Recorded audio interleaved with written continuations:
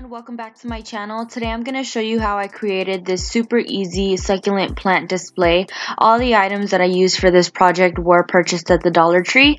I got these little fake succulent plants in different colors. I got some with purple, some that had like kind of a pinkish petal, and then the one in the back that has more grays undertones. You can put as many flowers as you'd like.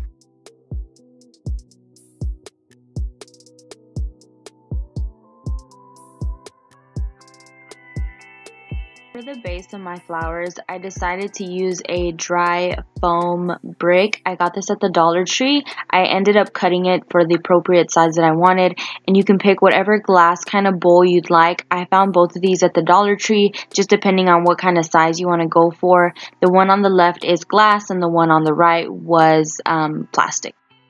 Got this black sand at the Dollar Tree as well. You could either use black sand, you could use rocks, or you could use whatever the fuck you want.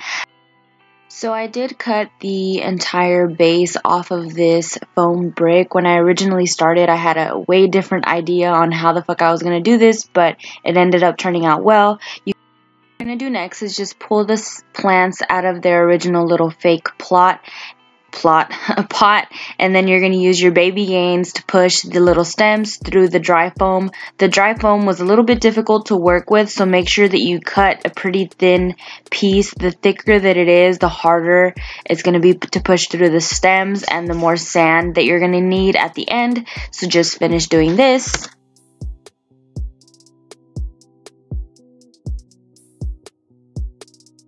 We're going to go ahead and put our little plant assemblant into the actual bowl. At this point, I had already placed sand in it because, like I said, it wasn't going how I originally planned. But you're basically going to bury where you're going to bury your plants. So basically use your fingers to cover the little dry foam board. And then, you know, you can use sand and rocks if you want to throw in some rocks to help cover that up.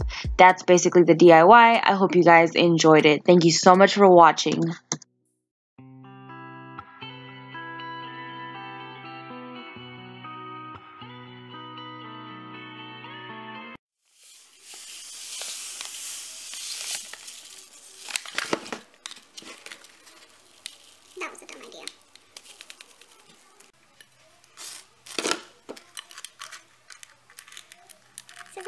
Ha ha ha.